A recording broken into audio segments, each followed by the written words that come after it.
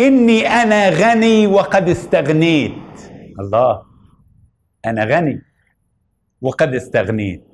تفرق إيه الكلمة الأولى عن الثانية غني يعني أمتلك وقد استغنيت مش محتاج لمساعدة من بره. استغنيت حتى عن ربنا. إحنا بقينا ناس بقينا كنايس لينا حسابات في البنوك. نقدر نبني نبني بالرخام. ونقدر نعمل ونعمل ونعمل. دي بتفكرني بالبابا ليون بابا الفاتيكان. لما جم يفتتحوا الكاتدرائية بتاعة القديس بطرس سان بيتر وقف ألقى خطبة. طبعا كلفت مليارات من العجائب الكاتدرائية بتاعة الفاتيكان من العجائب بالرسومات الجميلة بتاعتها بتاعتها. فألقى خطبة وقف على المنبر وقال تعالى يا بطرس الرسول شوف الكاتدرائية بتاعتك. لقد ذهب الزمن الذي قلت فيه ليس لي فضة ولا ذهب. كان حاضر القديس توما الإكويني. رفع إيده. البابا قال له في إيه؟ قال له وقد مضى الزمن الذي يقال فيه باسم المسيح قم وامشي. انت بتقول ذهب مضى الزمن اللي قلت يا بطرس لا عندي فضة ولا ذهب. اللي عندي هديهولك. جه الذهب والفضة خرج اسم يسوع. أكتر حاجة تزعل ربنا أنك تتباهى بأي شيء ينسب لله حتى. تباهى بالله. فاكرين لما خرج من الهيكل؟ أروه أبنية الهيكل. شوف الجمال شوف الفخامة شوف العظمة. لو الهيكل موجود كان يبقى من. العجائب السبعة لكن حرقوا تيتوس الروماني مع إن كان واخد أوامر إنه ما يقربش ناحيته. حرق الذهب اللي فيه كله. قال لهم الحق أقول لكم لا يترك حجر على حجر إلا وينقض إلهنا إله غيور. وكلمة غيور يعني نركز عليه. كلمة عجيبة قالها البابا شنودة ما انساهاش بس كان اسقف التعليم ساعة ما قالها لنا وإحنا طلبة.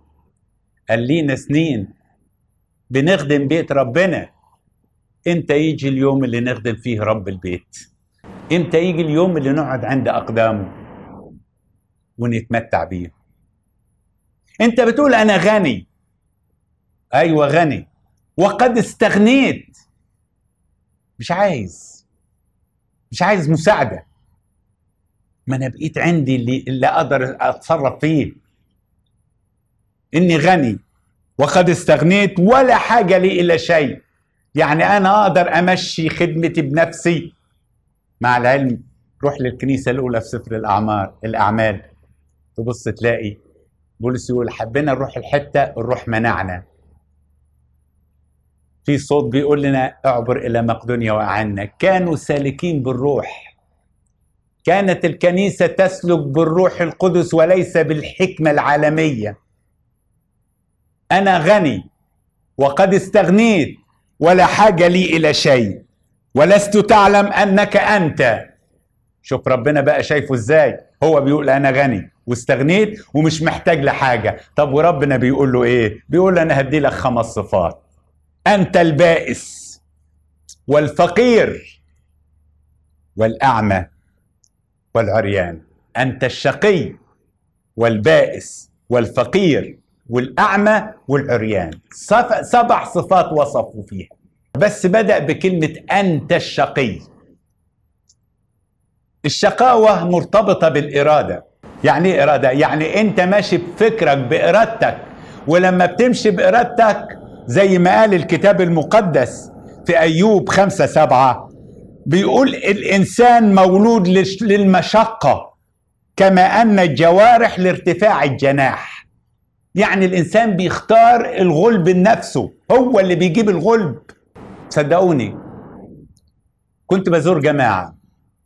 عندهم طفل صغير. وأنا قاعد لقيت الطفل بيعمل إيه؟ يطلع على الكرسي وينزل يطلع على الكرسي وينزل وينهج وينهج ومش قادر ياخد نفسه. طب أنت إيه اللي جبرك على كده؟ هو الإنسان كده بيدور على شقة نفسه. لدرجة القديس غرغوريوس قال أنا اختطفت لي قضية الموت. تلاقي واحد شاب ماشي بموتوسيكل ويروح رافع لك الموتوسيكل فوق عشان يمشي على عجلة واحدة مع إن لو اتقلب به هيضيع. مش مهم.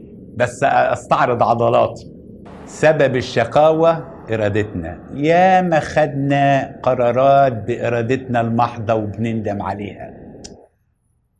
ياما بنندم. خدت ليه؟ في طرق تبدو للإنسان طريق مستقيمة لكن آخرتها طريق الموت. أدي معنى كلمة شقي. شقي يعني ماشي بإرادتك. بائس النفس البؤس. من كتر المشاكل والتجارب والأتعاب والخناقات والأحزان النفس بائسة. وسبب بأس النفس اللي قاله يعقوب. قالوا لفرعون. بيقول له كم سنية حياتك يا شيخ؟ قال أيام غربتي. مش سنية حياتك 130 سنة قليلة ورديئة وأفخرها تعب وبلايا. ومولود المرأة قليل الأيام شبعان تعب. يبقى شقي بإرادتك بائس في نفسيتك فخير بجسدك. جسد فقير آه اللي يبين إن جسد فقير. ربنا قال كلمة واحدة. قال تصورات فكر الإنسان صارت شريرة هو بشر. عارف يعني إيه معنى كلمة بشر؟ بشر يعني هش. يعني الإنسان ده لسان. يقول لك أنا أعمل وأعمل وأعمل. تعمل إيه؟ ده حتة فيروس صغير ما يتشافش بالعين. جاب أتخن رأس في الشعب في العالم كله. ملوك ورؤساء اترموا قدامه ومش عارفين يتصرفوا. انت نفس في قفص. يخرج النفس يبوظ القفص. فقير. النفس. عرياء أعمى. إيه سبب العمى؟ عمى قلب. إيه سبب عمى القلب إن القلب بيدور على اللي بيتعب ويحب اللي بيتعب. وتركوني أنا ينبوع الماء الحي وحفروا لأنفسهم أبار مشققة لا تضبط ماء.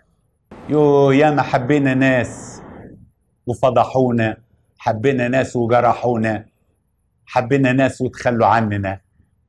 طب ما ندور على اللي جرح فتح عينيك اللي جرح عشانك اللي حبك اللي تهان بدالك.